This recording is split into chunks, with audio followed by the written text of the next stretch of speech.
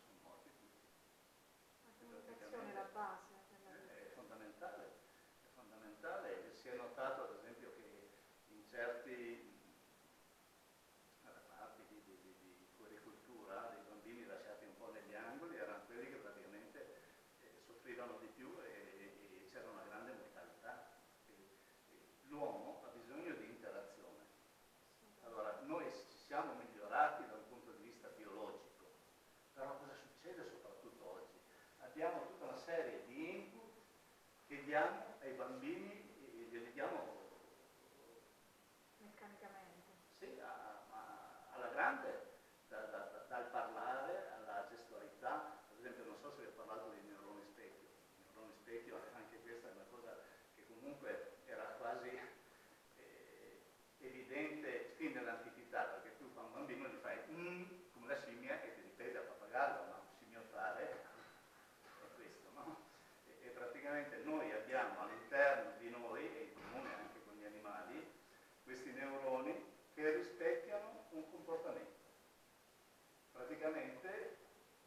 impariamo subito, grazie a questi neuroni.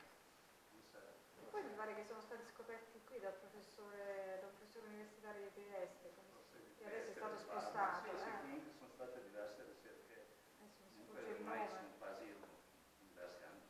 Sì, sì, dagli anni 80, sì, 89. E, e questo, ma tutte queste cose ci fanno capire proprio qua, come è importante questa macchina che abbiamo. E oggi siamo arrivati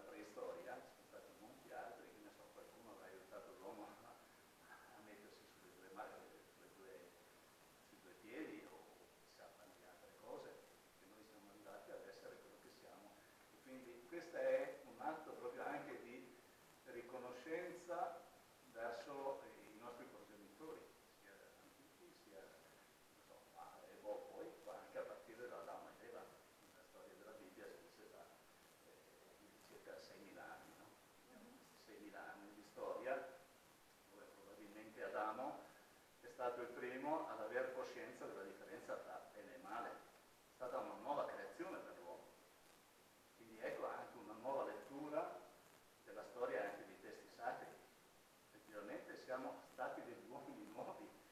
all'interno una nuova creazione, però possiamo leggere la storia anche in questo senso. È logico che a dei bambini piccoli, se noi eravamo dei bambini piccoli allora, perché c'è un altro concetto che è molto importante, tenere presente proprio questa umanità che ripercorre la stessa, la stessa strada che fa un individuo. La filogenesi dell'umanità ripercorre l'umanità. E quindi noi siamo stati neonati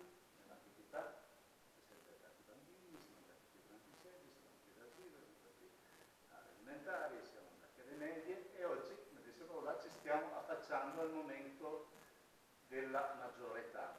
Allora, per quello che c'è anche questa turbolenza. Esatto, siamo adolescenti. Siamo, adolescenti e ci stiamo affacciando. Questa, questa è, è il frutto della comprensione che supereremo questa adolescenza, dobbiamo concepire di essere cittadini